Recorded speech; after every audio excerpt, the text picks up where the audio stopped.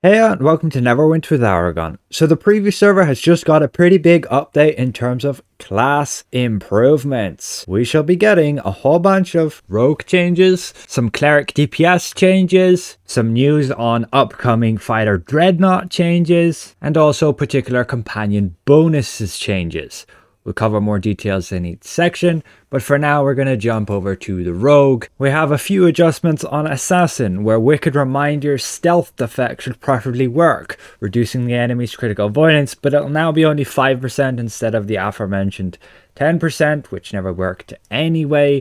Lashing Blade will now have its added effect of 300 magnitude rather than the useless critical severity you had before. Unfortunately, Path of Blades is getting reduced to only 4 hits instead of what it was like 21 to 22 hits, and also its duration is narrowed. So six seconds normally and three seconds while you use when you use from stealth. Will help a little with burst, but missing all those hits means you're not going to get all those triggered bonuses from like oppressors, from your Mythallar, from your touch of wind, and the new companion bonuses, which we'll cover a bit later. But the general stealth drain won't be as impactful when enemies hit you anymore That'll be really nice. You can read through the details yourself here, but basically the penalty's been reduced by like 40%. Courage Breaker got its effect increased a bit. So did Bloodbath in terms of its damage. And then Assassin's Target. That can now be up to like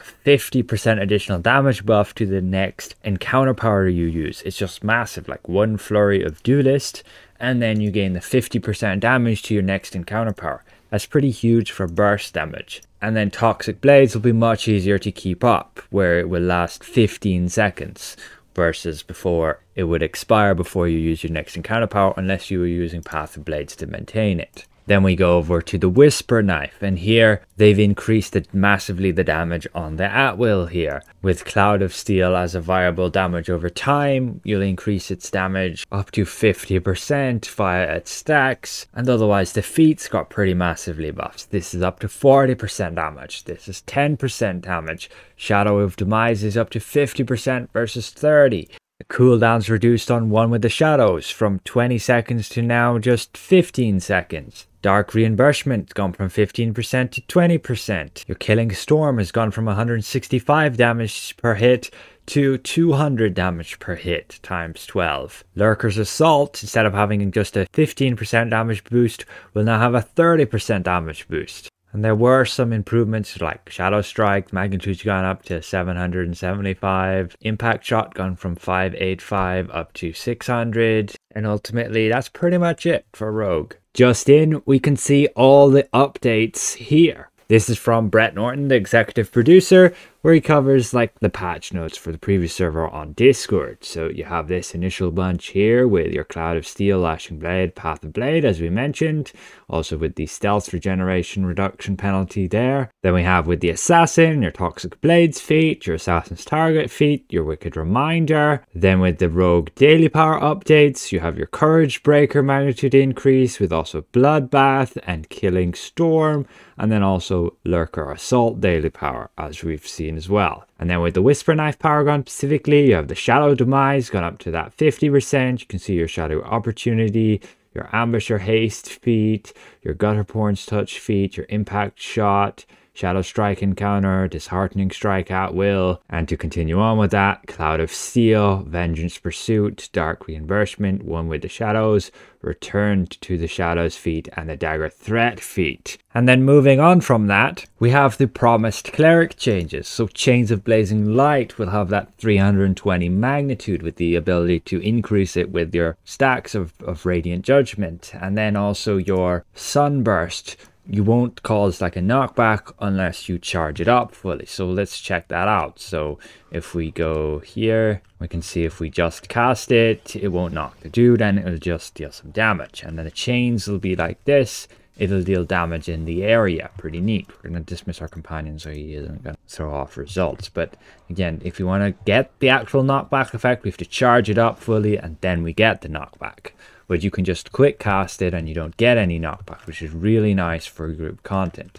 And then the chains, they're going to look like this. We can cast it here, and there you go. You get that effect, and then Sunburst boom. And that was actually pretty decent with the stacks there we were getting.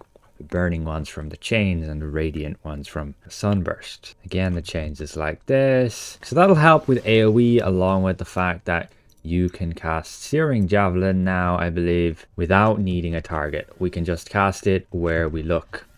So that is awesome. You're not going to run into the issue of your target dying and then not being able to cast it. And it won't have some weird funny aiming with it as well. Again, it's just exactly where you're pointing. You'll want to line yourself up and there you go. So if I'm looking off in this direction, well, oops, that's where it's going. So you're going to have to make sure you're aiming properly. We want to hit all three. We can aim at the middle of them there and hit them all with that radius of 8. So that's very nice to see.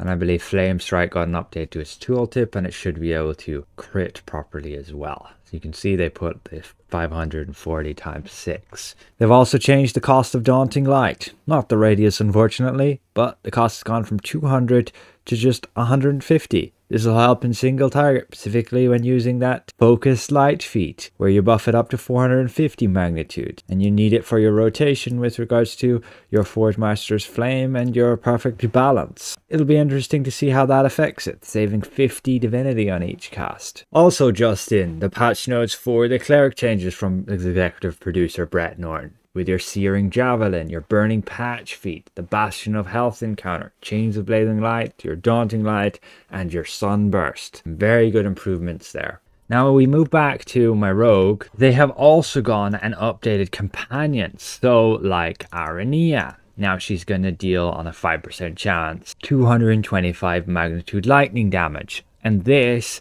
can only trigger once per second, but they've made it so it actually scales properly with stats. So it's going to deal quite a decent amount of damage. For example, she's dealing more damage than the Touch of Wind, which is generally like 5% of your overall damage. It will vary depending on class, and especially because Path Blades did get nerfed on Rogue, you won't be able to get as much damage out of it. Like, you won't be able to get as much damage out of Touch of Wind anymore without that extra hits of Path of Blades, meaning this will probably deal maybe 4% of your overall damage. That does make it pretty competitive with something like the Neverwinter Night. And we're going to have to test out a whole lot more of these. And I'll make a dedicated video to that when I have finished my testing. There's a lot of them like this and they've all been updated with it being fixed. So now that that damage will actually be affected by your stats, dealing pretty good damage now. So again, I will cover all of these in separate videos just to show my testing of them. I'll go dive straight into companion testing,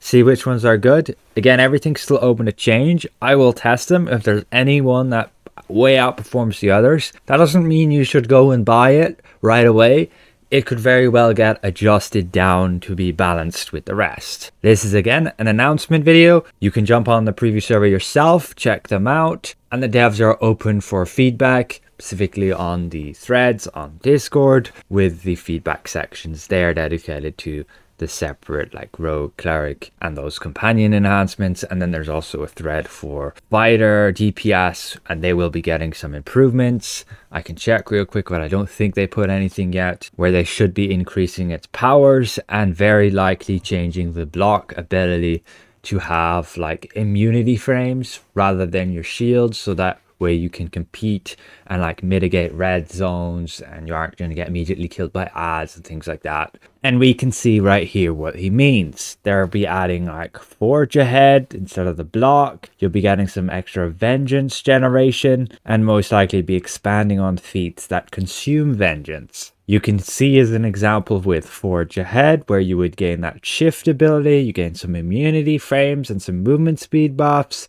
within the first second that you use it. And then like with Reprisal, you would gain extra vengeance generation when you use like your guarded strikes and your shield bash. Basically when you're blocking and you use those at wills. And this would be somewhat like the damage on it. So again, just a heads up and we'll see you guys around. Goodbye for now.